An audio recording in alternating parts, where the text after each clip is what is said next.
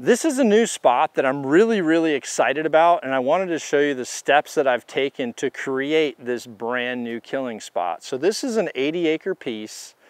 Some of this piece has row crop, but the majority of it is actually super thick, old cattle pasture cover that has grown up over the last 20 or 30 years with super invasive type trees. So it's, it's almost too thick. In fact, in some areas it is too thick, which is why I've kind of established this and created what I think is gonna be a dynamite kill spot.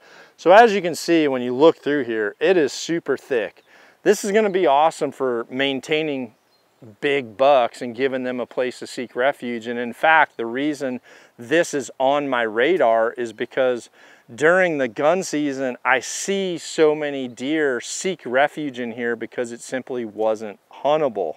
So what I've done is I've hired a pulverizer. They came in and created my entry and my exit points, but also created a travel corridor through here. So I mapped this out to where we've created a perimeter around this property that the deer can flow and they can follow and they can maneuver within this property and they can still have super thick cover even 30 yards off this path but they can also hit the path and easily be able to transition whether they're going that way which leads up to row crop or this way which is going to lead deeper into thick cover.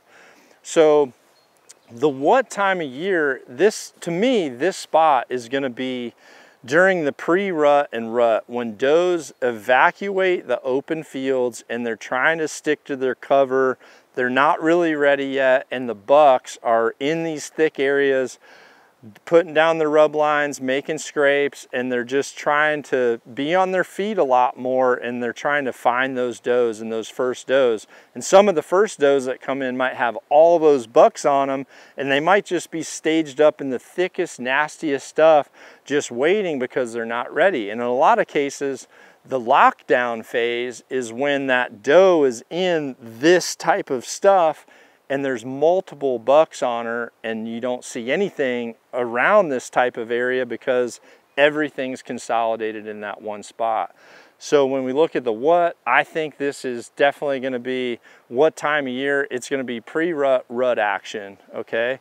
Um, when I look at the why are they here, they're definitely here for cover. They're not gonna be here for a food source. There is some water in here, but they're mainly here for the cover and this is something they can feel safe in a lot. And during the times of years where, or the time of year when those bucks are first starting to become a day walker, first starting to get on their feet, a lot of times they'll be on their feet in a staging area like this, wait until it's dark here, and then they'll move that next three or 400 yards out to the food source where if that's where you are, you just see a black blob come out and here's your target buck and it's too late.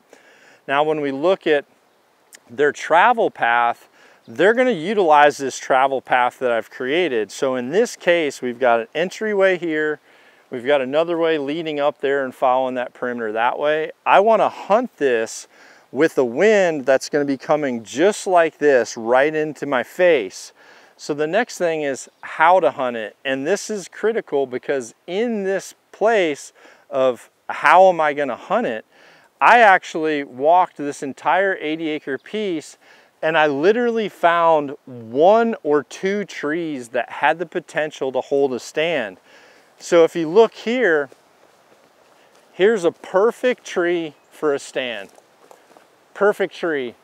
Has cover, great cover, I can actually access it from the creek. If I don't want to have to use that, I can come up through the creek right up into that spot. Again, on the app, it tells me this is going to be my most favorable wind. So this is where I had this entire pocket opened up in here so that the wind can be in my face.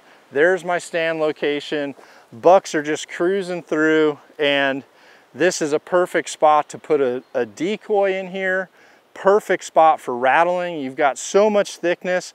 If you rattle, they're gonna wanna come fast and come quiet. Most likely they're gonna just jump on one of your trails, try to come to that. If you got the wind in your face, they'll come down and they're gonna try to button hook this decoy just like this with the wind coming this way to get your scent and boom, there's your strike. they come up from the bottom to do the same thing, boom, there's your strike. So this is an awesome little spot that took that pulverizer machine a matter of a few hours to create in this thick, thick, thick stuff that honestly holds a ton of deer. It's a great refuge place during that gun season as well. And just by establishing a little of this and getting a little bit more light down on the ground, there's already fresh green starting to come up through this. And honestly, after this this compost breaks down in the next year or two. This is something that you could easily overseed in clover, have a nice little clover path that comes through. An awesome spot to sit all day, be in here when the lockdown's happening and everything's in the thick, thick stuff. This is a super cool location.